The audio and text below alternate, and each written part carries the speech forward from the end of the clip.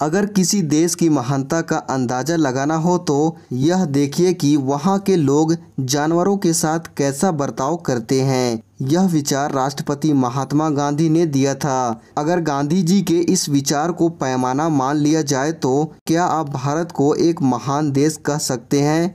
इसी तरह अगर किसी व्यक्ति को आंकना हो तो यह देखिए कि वो अपने से कमज़ोर लोगों के प्रति कैसा व्यवहार करता है? भारत इन दोनों ही पैमानों पर फेल हो रहा। कुछ दिन पहले केरल में कुछ इंसानों ने एक भूखे और गर्भवती हथनी को जलते हुए पटाखों से भरा अनानास खिला दिया और उस हथनी की तड़प तड़प कर मृत्यु हो गई।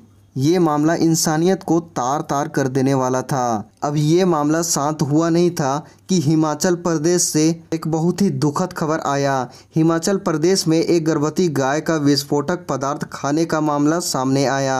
इस मामले में एक शख्स को गिरफ़्तार किया गया। समाचार एजेंसी एएनआई के मुताबिक, यह मामला बिलासपुर ज़िले में झंडुता थाना क्षेत्र में पड़ने वाले ढाक गाँव का है। इस गाँव के निवासी गुरदयाल सिंह ने पुलिस में शिकायत दर्ज कराई थी कि उनकी गाय को विस्फोटक खिलाया गया है, जिससे उसे शारीरिक चोट आई है। एएनआई के मुताबिक, बिलासपुर के पशुपालन विभाग के डिप्टी डायरेक्टर ने बताया कि जिस वक्त यह घटना हुई, उस समय गाय गर्भवती थी। विस्फोटक की वजह से गाय के जबड़े का ऊपरी और निचला हिस्सा बुरी तरह से जख्मी हो गया।